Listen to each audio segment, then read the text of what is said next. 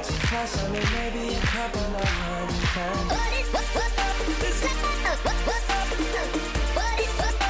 I got you two sausages. What? Yeah. Aaron, actually Riku went to the drive-thru and got his first drive got me McDonald's. I gotta eat as much bad food as I can before Roy gets here because this is about to be so strict. Look at yes, hash browns. Yes, I know you guys like that stuff. And I got Hash browns. Thanks, Riku. Thanks, Riku. What up, guys? Just got out of class. It is 6:38. Did my scene in class today.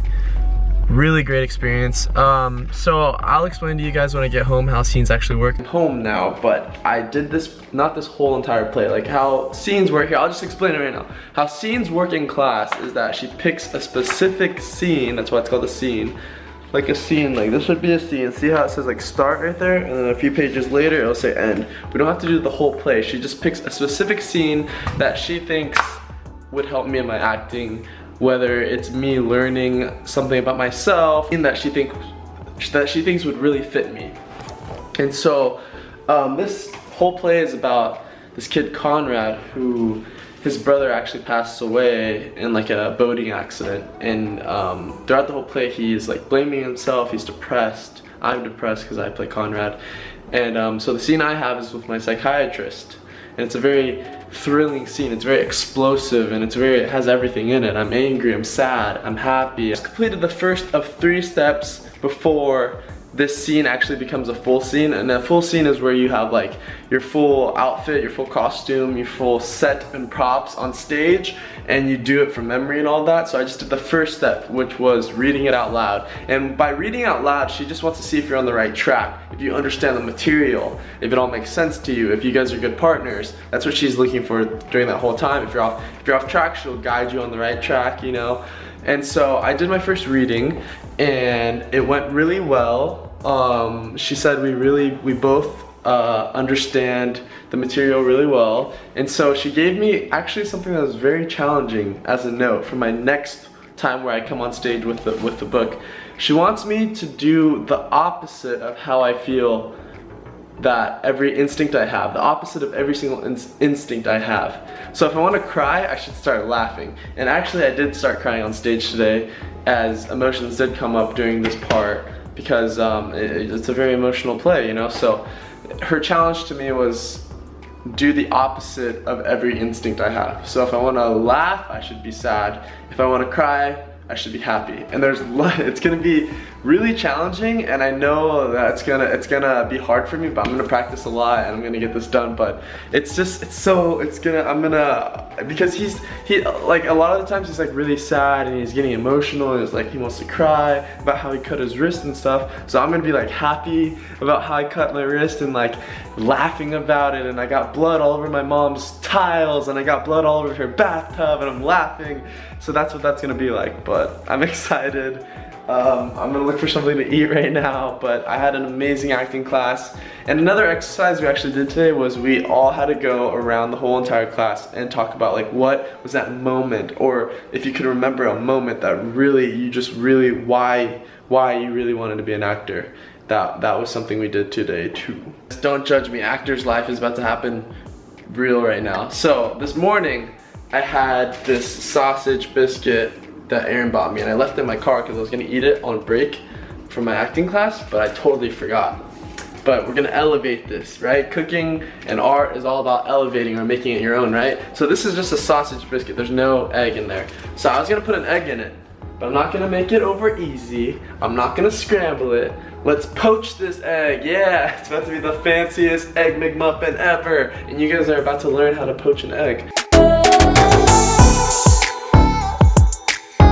Alright guys, we're back. The water is now boiling, right? You want to take, let's see, hmm, okay, whatever. We're gonna have to use this pasta strainer because we're ballers on a budget right now. But see how this water is boiling super hard?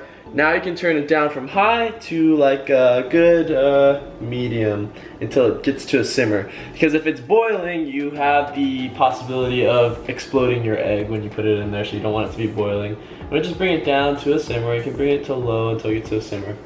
All right. So one of the main tricks, and is a, not necessarily a necessity for poaching an egg, but a prettier poached egg, you're gonna need some vinegar. So for all those perfectionists out there, you're gonna need about a tablespoon of vinegar.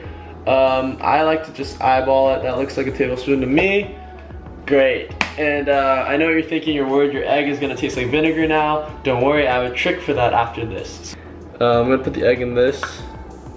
That's better-ish, I hope. All right, so you wanna do, make the whirlpool again. Go as fast as you can. And you wanna try to drop the egg. Just drop it in the center, not gonna make it too complicated. I'm gonna keep going in a circle right here. Here we go. And then drop. And now you can see the egg is spinning out of control. This again. I think I cracked the egg wrong. Let's do this again.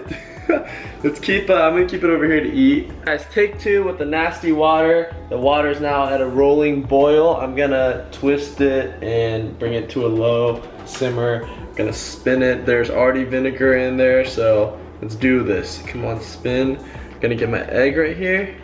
Kind of want to go, you want to put the egg in the same motion as you're spinning, you know, you want to guide the egg. Okay, so I'm gonna spin it really fast here. There we go. Oh, yes. Okay, if you look at my poached egg, if you can, in this murky water. Off right there. Oh, it's getting kind of foggy. Oh, crap. Let me wash that. Okay, cool. It's uh, it's getting kind of circular. It's forming now. It's like a, it's like a baby dragon. It's happening right in front of your eyes, right here. Right now, it's trying to cook as best as it can. So in the meantime, while you're waiting for it to finish, you want to get uh, this right here, which is a ice bath. So this is some water, ice cubes. What the ice cubes and the ice bath is gonna help you do is actually help get that vinegar off your egg and also stop it from cooking too much because I like the runny yolk in the middle. Mmm, yummy, yummy, yummy. I need to get that spin technique right. I'm gonna get this perfect. Maybe not today, but I'm gonna keep trying. That's like what cooking is all about, guys. I know you guys can't see my face, but like I mess up a lot of times too, and I'm gonna show you guys how to mess up, but I really did mess up. I think I even messed up this one, but it looks pretty poached. You'll actually see if it floats right now when it's, oh gosh, when it's close to being done or not. Um, just take my egg, actually place it in the cold ice bath right here. Gonna help get that vinegar flavor off. It's but if you do it right, if you've ever seen mozzarella, it's supposed to look like a perfect mozzarella ball. But I mean, it kind of looks like that right now. It's not bad. I used to make eggs benedict a lot, so I kind of feel bad right now, but that's okay. Sometimes you fail, but you gotta learn from your mistakes. I think what I did there is I just released my egg a little bit slower than I should have. But um, anyway, so right now, let's check out the egg. All right, the poached egg is in the ice bath right now. It is chilling. You can see it's poached. This is the poached egg. It has a, a soft center. You can see me poking it. And actually dry it on this paper towel. Get a little dry. Dry it right there. Bam, bam. McDonald's right here. Bam. It's all heated up and delicious. What I'm gonna do season my poached egg now with uh, some cracked pepper. Here's some cracked black pepper. Here is some Spanish smoked paprika. Go ahead and just give it a dash of that for some, you know, that little kick. And then you're just gonna throw a little bit of salt for seasoning on it. Bam. Then what you wanna do is dissect your sausage McMuffin. Go ahead and pick up your poached egg right here, place it on there, and bam, you just elevated your sausage McMuffin to have a sausage smoked paprika cracked pepper with salt McMuffin on top. Let's see what happens when we slice into this bad boy. And just, oh, you can see the yolk coming out. Oh, it's spraying out.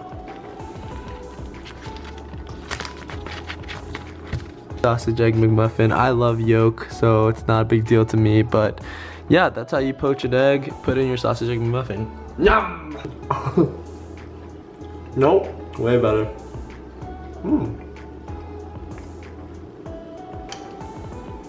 Shout out to Kimmy and Aaron for, um, it was a dollar more to get an egg on your sausage egg McMuffin, but Kimmy and Aaron made their own egg and they put it on there, so they kind of inspired me to not to poach my own egg. Brownie, ice cream sundae, strawberry chocolate.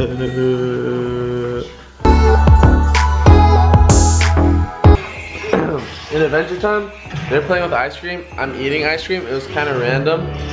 But as a kid, I would always like do so many things that happen in cartoons. Like I would try to make it happen in real life. Like if people were playing with marbles, I would go and buy marbles. I remember there's a cartoon that did that, but they're eating ice cream. I was eating ice cream. It just happened on its own though. but I'm gonna end this video and go to bed now. Good night. Peace.